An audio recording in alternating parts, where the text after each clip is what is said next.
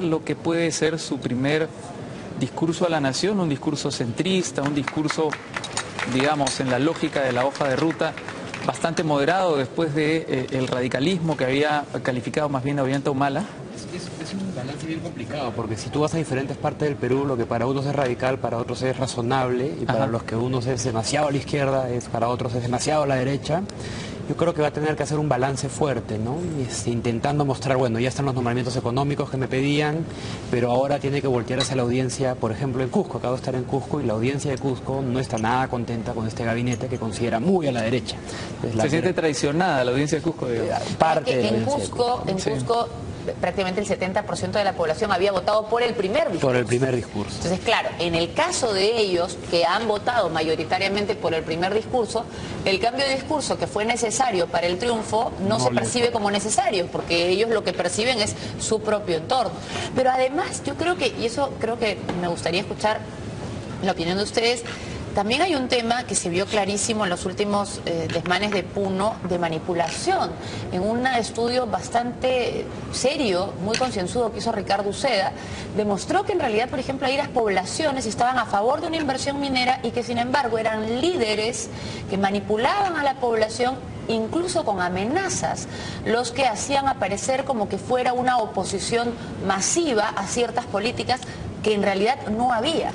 El problema en Puno es que yo creo que encuentras de todo. ¿ah? O sea, yo no creo que sean toda la, población manipulada, sino que hay sectores que efectivamente... Pero en particular en el caso de la minera, sí, en algunos el problema de Bear Creek se probó que y estaba también, manipulado. Y también encuentras sectores que no quieren nada de inversión minera y otros sectores que sí la quieren o que están dedicados a la minería informal y que se oponen a otros sectores que protestan. Entonces, tienes cinco o seis... Y un sector turístico que quisiera que nada de esto esté pasando. Entonces, tienes como cinco o seis audiencias distintas, a veces opuestas entre sí y que siente, con lo que uno conversa con ellos, es que en Lima simplificamos todo, ¿no? Creemos que son los buenos y los malos, y, o, este, o que son este, poblaciones que protestan por temas ecológicos y otros te dicen, no hay un momento, yo sí protesto por tema ecológico, pero los que dicen que protestan por temas ecológicos no lo están haciendo.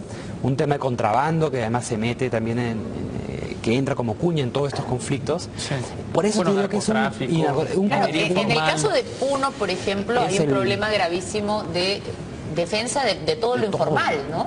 Y también otro sector formal, ¿no? Pero ahí, es claro que el Estado, sea popular o no, tiene que oponerse, porque el Estado representa la formalidad. Me parece que el Estado lo que tiene es que muchas veces se dice, tiene que entrar como mano dura, pero la pregunta es, ¿puede hacerlo? Eso va a ser interesante, ¿no? Porque finalmente lo que va a tener que hacer el Estado, si es que lo que tiene que hacer es poner mano dura, es enfrentar Humala, en el caso de Humala, a sus propios votantes.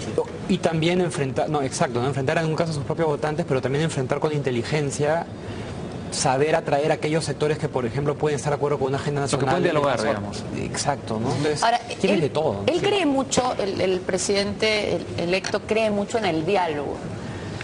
Eh, es más, se le ha escuchado decir varias veces que las cosas que han sucedido son por falta de diálogo.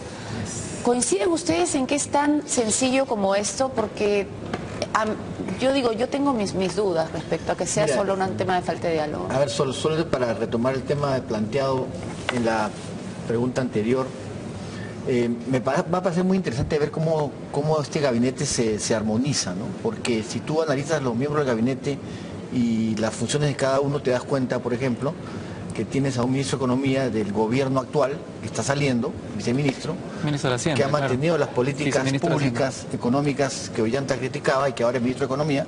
Y tienes al que quería ser ministro de Economía, legítimamente además, porque creo que puso la cara durante toda la segunda parte, que es Kurt Burneo, un hombre también muy capaz, este, como un, un, ministro de Economía en la sombra con un ministerio de producción que no tenía inclusión social y que ahora se va a la inclusión social y desarrollo. Entonces la pregunta es, ¿cómo van a compatibilizar las posiciones de Kurt Burneo en producción, no ministro de Economía, y ministro de Economía ortodoxo de viceministro de Hacienda de García? ¿Qué le queda a la señora Naranjo en su Ministerio de las Mujeres? Porque si le han quitado la inclusión social y los programas sociales... Dicen que le dejan género nomás, ¿no? O sea, todos los temas de mujer. Bueno, es un ministerio bastante disminuido respecto a lo que era antes el Ministerio de la Mujer un vaso de leche, etcétera. Entonces... Es que en realidad, y eso no es tema de la mañana de hoy, pero es muy, yo creo que es muy cuestionable que exista un Ministerio de la Mujer en esta época. Sí, tal vez había que cambiarle el nombre o darle otras funciones, ¿no? Y por otra pregunta que es, viendo el análisis de los miembros del gabinete, por ejemplo, José Luis Silva, presidente, ministro de Comercio Exterior y Turismo, ha sido presidente de AES, la Asociación de Exportadores. Miguel Cayó ministro de Agricultura, ha sido un opositor a los tratados de libre comercio durante el gobierno de Toledo, opositor de Conviagro, hoy día ministro de Agricultura. Entonces van a tener que ¿Cómo se van a sentar en la mesa? que dialogar entre ellos para Pero es, interesante porque es lo que ha dicho Ollantumal. Esto es una mesa de concertación. La mesa de los ministros es una mesa de concertación. Y en este momento vemos la llegada ya. Sí, Fernando, te escuchamos. Bien, el jefe de línea, Juan Capuñay, el general Juan Capuñay será quien le dará la bienvenida al presidente electo Ollanta Humala Tazo, quien ha llegado en el vehículo a través de la, ah, del jirón Junín hasta una de las puertas laterales de este Palacio Legislativo y en segundos entonces ingresará ya el presidente electo Ollanta Humala Tazo al la sede del Palacio Legislativo, a la sede del Congreso de la República en este paso previo a la asunción de mando del ganador de las elecciones presidenciales del último 5 de junio. Es entonces la bienvenida que le da el general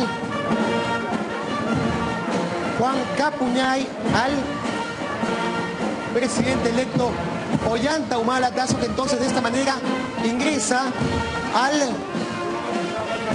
Palacio Legislativo, a la sede del Congreso de la República para cumplir con lo que supone la asunción de mando, tal y como dispone el artículo 116 de la Constitución Política del Estado. Tiene la bienvenida de la Comisión del Recibo de Congresistas y entonces en este momento ingresa ya al Palacio Legislativo el presidente electo Ollanta Humala Tazo. Peter.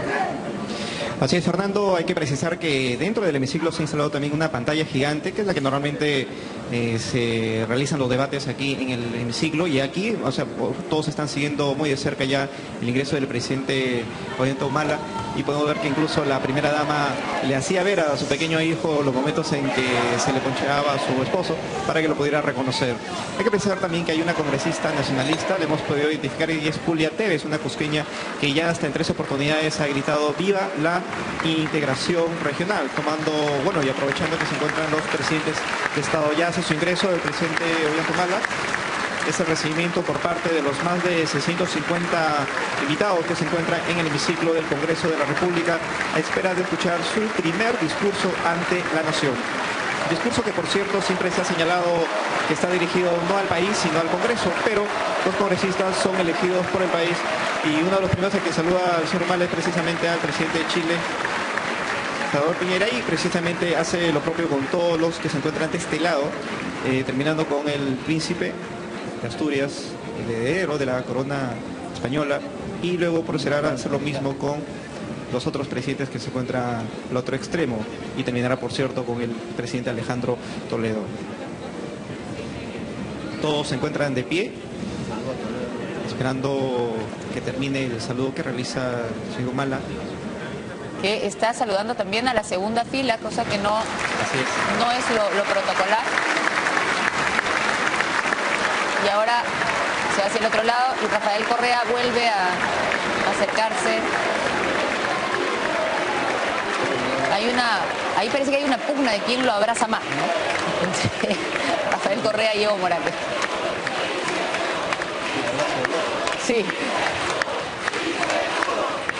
Sí, se pudo, es eh, lo que más gritan los congresistas nacionalistas, mientras el presidente Humala termina de saludar a los presidentes invitados. Y finalmente con el presidente Alejandro Toledo. Normal.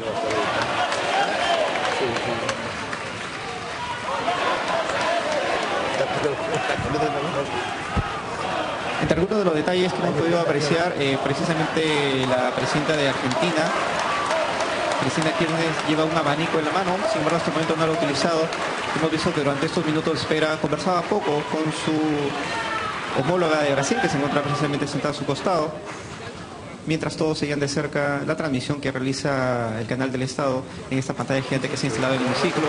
Saluda al presidente del Congreso, Danilo Bogatás, y comienza entonces ya formalmente la ceremonia aquí en el hemiciclo del Congreso de la República, que estaba programada exactamente para las diez y media. Tenemos unos 25 minutos de retraso en que el señor Ollanta Malatazo, presidente electo de la República, debía ingresar al hemiciclo del Congreso